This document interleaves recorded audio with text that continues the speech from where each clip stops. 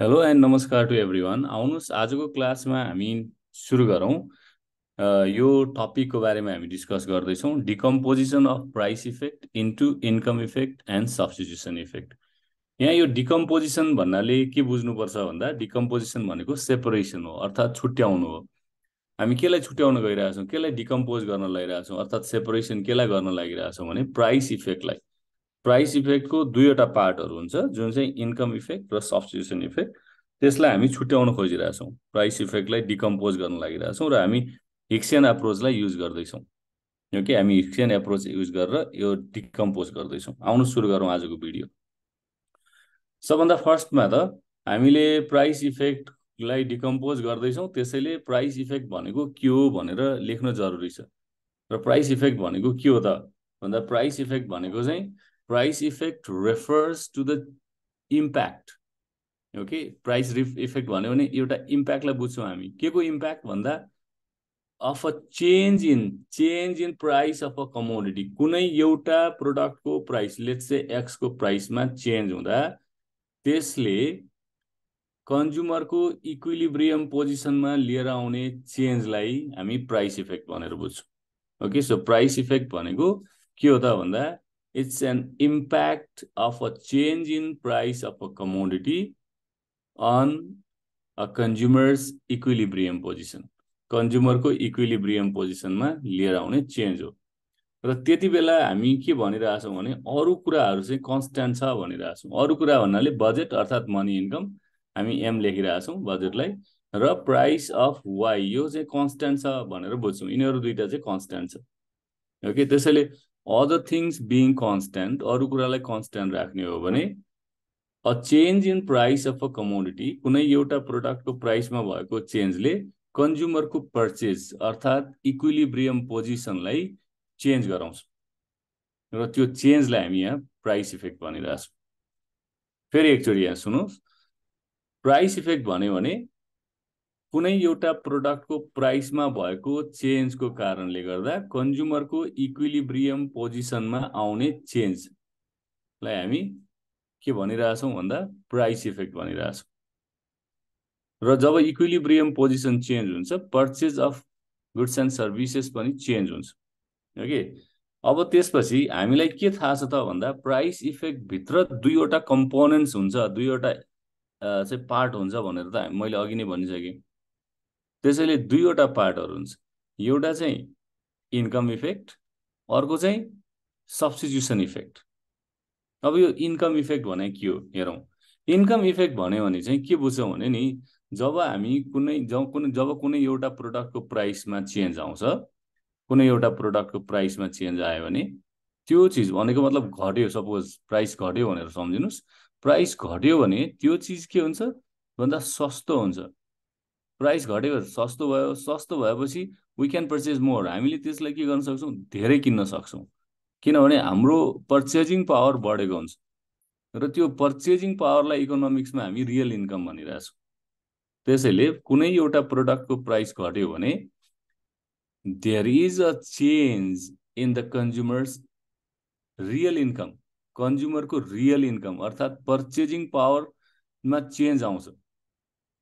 जसले गर्दा which leads to a change in consumption जसले गर्दा कन्जम्सनमा चेन्ज आउँछ। र यो कन्जम्सनमा आउने चेन्जलाई हामी इन्कम इफेक्ट भनिरहेछौँ। र अघि जस्तै गरेर डिफाइन गर्ने हो भने जब कुनै एउटा प्रोडक्टको प्राइसमा चेन्ज आउँछ प्राइसमा चेन्ज आयो भने price of X let say घट्यो भने अर्थात् चेन्ज आयो भने त्यसले के गराउँछ त भन्दा त्यसले चाहिँ हामी सिम्पली प्राइसमा चेन्ज आयो भने त्यसले चेन्ज लिएर आउने भनेको प्राइसमा चेन्ज हुने बित्तिकै कन्ज्युमरको रियल इन्कम चेन्ज हुन्छ। Change in real income real इन्कमलाई हामी पर्चेजिङ पावर पनि भन्छौँ। अर्थात् हाम्रो किन्न सक्ने क्षमता चाहिँ चेन्ज हुन्छ। जसले गर्दाखेरि कन्ज्युमरको इक्विलिब्रियम पोजिसनमा पनि चेन्ज आउँछ। इक्विलिब्रियम पोजिसन हो यो कन्ज्युमरको इक्विलिब्रियम पोजिसनमा आउने चेन्जलाई हामी इन्कम इफेक्ट भन्छौँ। के को कारणले? रियल इन्कममा भएको चेन्जको कारणले गर्दा कन्ज्युमरको इक्विलिब्रियम पोजिसनमा आउने चेन्जलाई हामी के भन्छौँ? इन्कम इफेक्ट भन्छौँ। अब बाँकी भयो एउटा सब्सिट्युसन इफेक्ट सब्सिट्युसन इफेक्ट भनेको चाहिँ के हो त अब? फेरि यहाँ माथिदेखि हामी हेरौँ प्राइसमा चेन्ज आयो भने कुनै एउटा प्रोडक्टको प्राइसमा चेन्ज आयो भने कुनै एउटा प्रोडक्टको प्राइसमा चेन्ज आयो भने। त्यति बेला देयर विल बी अर्थात् there is a change in relative price त्यो प्राइस चेन्जको मतलब के हो? रिलेटिभ प्राइसमा चेन्ज छ। र रिलेटिभ प्राइसमा चेन्ज हुने बित्तिकै त्यो जुन चाहिँ प्रोडक्टको प्राइस घटेको छ लेट्स से चिपर भएको छ सस्तो भएको छ त्यो सस्तो गुड्सले के गर्छ? भन्दा रिलेटिभली एक्सपेन्सिभलाई सब्सटिच्युट गर्छ। सब्सटिच्युट गरिसकेपछि कन्ज्युमरको इक्विलिब्रियम पोजिसनमा चेन्ज आउँछ। हो त्यो चेन्जलाई चाहिँ हामी सब्सटिट्युसन इफेक्ट भन्छौँ। अघिको जस्तै गरी हिसाब डिस्कस गर्ने हो भने जब हामी प्राइस अफ एक्स चेन्ज भयो भन्दैछौँ प्राइस अफ एक्स चेन्ज हुने बित्तिकै के हुन्छ भन्दा रिलेटिभली सस्तो गुड्सले महँगो गुड्सलाई चेन्ज सब्सटिच्युट गरेर आएको हुन्छ। त्यस्तो गरेपछि के हुन्छ? इक्विलिब्रियम पोजिसनमा चेन्ज आउँछ फेरि पनि। कन्ज्युमरको इक्विलिब्रियम पोजिसनमा चेन्ज आउँछ। हो यो यस्तो चेन्जलाई चाहिँ हामी सब्सटिट्युसन इफेक्ट भनिरहेछौँ। तर त्यति बेला हामी के एज्युम गरिरहेछौँ भने रियल इन्कम चाहिँ कन्सटेन्ट छ है भनिरहेछ। सो रियल इन्कमलाई कन्सटेन्ट राख्दा यदि कुनै एउटा प्रोडक्टको प्राइसमा भएको चेन्जले कन्ज्युमरको इक्विलिब्रियम पोजिसनमा चेन्ज लिएर आउँछ भने त्यसलाई हामी सब्सटिट्युसन इफेक्ट भनेर बुझ्छौँ। ओके? र प्राइस इफेक्टको दुईवटा कम्पोनेन्ट्स भनेर हामीलाई थाहा छ। त्यसैले हामी यहाँ के भनिरहेछौँ price effect is equals to income effect and substitution effect भनिरहेछौँ यसरी प्राइस इफेक्टको दुईवटा पार्ट छ इन्कम इफेक्ट र सब्सटिट्युसन इफेक्ट अब यो दुईवटा कुराहरूलाई हामी डायग्रामेटिकल्ली डिस्कस गर्न गइरहेछौँ अर्थात् ग्राफिकल्ली हामी डिस्कस गर्न गइरहेछौँ र यो चाहिँ हामीले यहाँ यो यो भिडियोमा चाहिँ हामी नर्मल गुड्सलाई फलो गरिरहेछौँ ओके नर्मल गुड्सलाई फलो गरिरहेछौँ हामी यहाँ इन्फेरियर गुड्स गिफन गुड्सको बारेमा कुरा गरिरहेको छैनौँ हामी नर्मल गुड्सको बारेमा कुरा गरिरहेछौँ ओके र फेरि अर्को के पनि भन्दा प्राइस राइजको कुरा गरिरहेको छैनौँ प्राइस फलको केसलाई मात्रै हेरिरहेछौँ प्राइस घट्यो भने के हुन्छ भनेर हेरिरहेको छु आउनुहोस् अर्को स्लाइडमा जाउँ अर्को स्लाइडमा हामी यसलाई डायग्रामेटिकल्ली एक्सप्लेन गर्न खोज्दैछौँ ओके सो यो डायग्राममा तपाईँले के देखिराख्नु भएको छ भने यो एबी भनेको इनिसियल बजेट लाइन हो।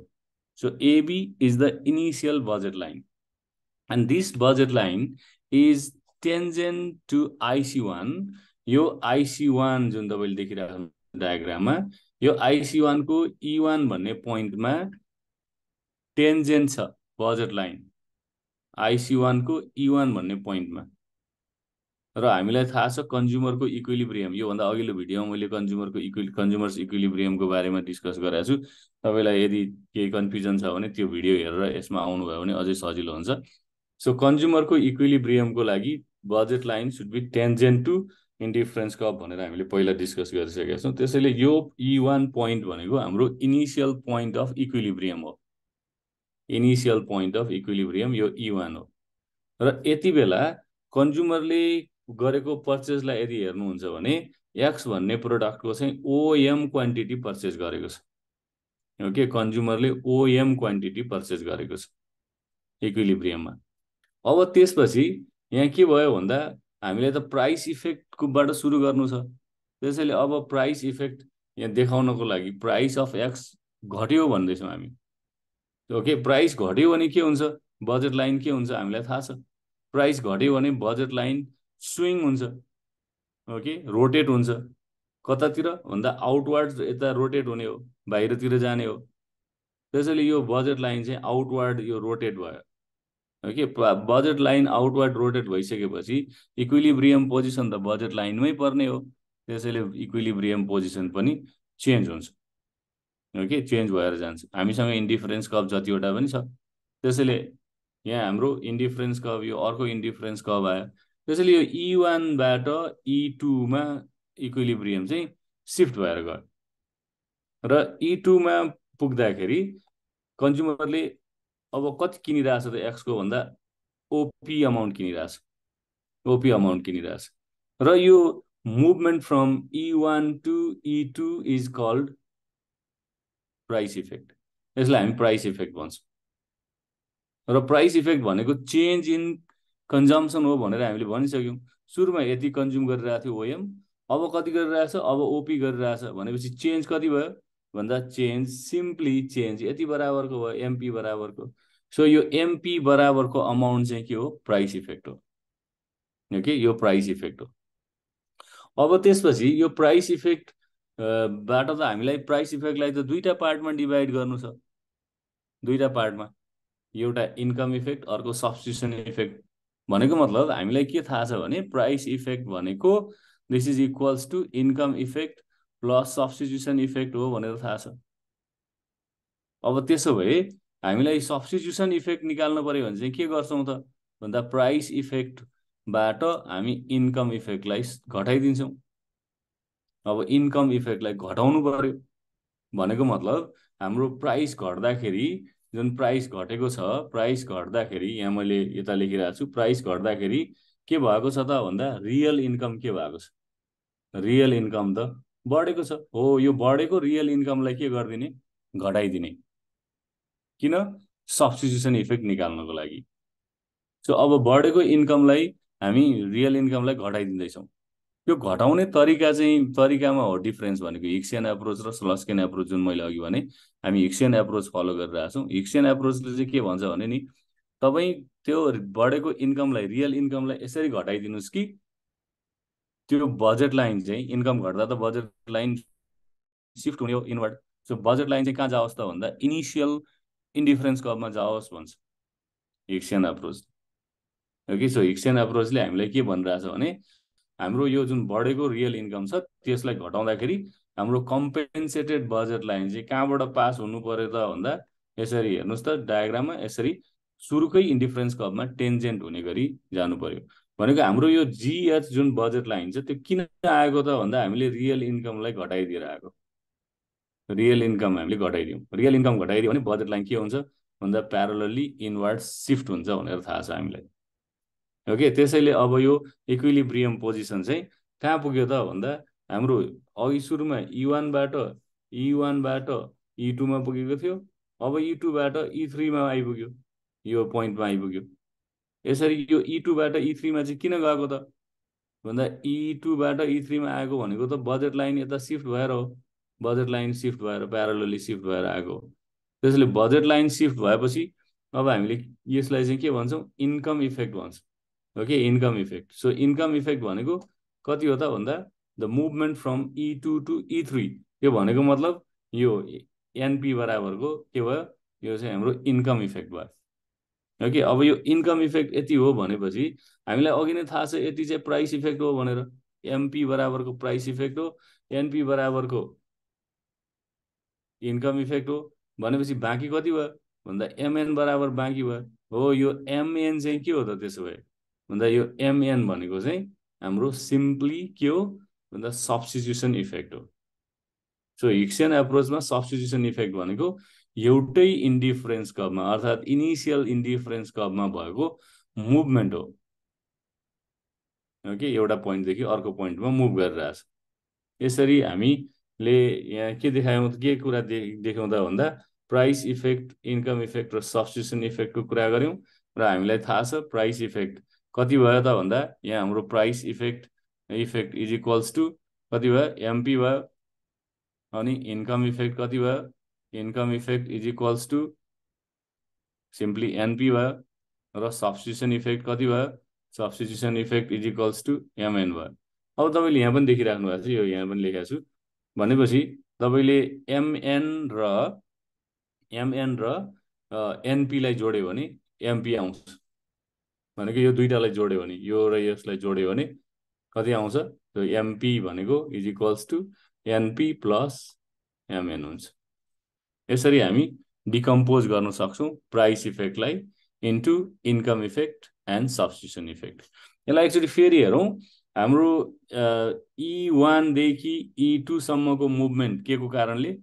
प्राइसको कारणले त्यही भएर यो प्राइस इफेक्ट हो। ई टूदेखि ई थ्रीसम्मको मुभमेन्ट के को कारणले? इन्कमको कारणले त्यही भएर यो इन्कम इफेक्ट हो। र अब सब्सटिट्युसन इफेक्ट भनेको के हो त भन्दा रियल इन्कमलाई कन्सट्यान्ट राखेको छ। रियल इन्कमलाई कन्सट्यान्ट राखेपछि त कन्ज्युमर पहिला जस्तो अवस्थामा थियो अहिले पनि त्यस्तै अवस्थामा हुनु पर्यो भनेको लेभल अफ सेटिस्फ्याक्सन कन्सट्यान्ट हुनु पऱ्यो त्यसैले ई वानदेखि ई थ्रीसम्मको मुभमेन्ट भनेको यो चाहिँ सब्सटिट्युसन इफेक्ट हो। ओके अब त्यसलाई क्वान्टिटीको एक्सको टर्म्समा भन्नु पर्दाखेरि एमदेखि पीसम्मको मुभमेन्ट भनेको प्राइस इफेक्ट हो एनदेखि पीसम्मको भनेको इन्कम इफेक्ट हो र एमदेखि एनसम्मको मुभमेन्ट भनेको सब्सटिट्युसन इफेक्ट हो।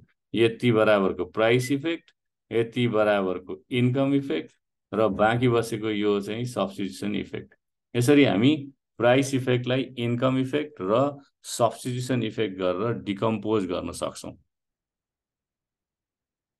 ओके सो भिडियो अन्तसम्म हेरिदिनु भयो त्यसको लागि तपाईँहरूलाई धेरै धेरै धन्यवाद अर्को भिडियोमा फेरि भेट हुनेछ तबसम्मको लागि बिदा दिनुहोस् हस् त नमस्कार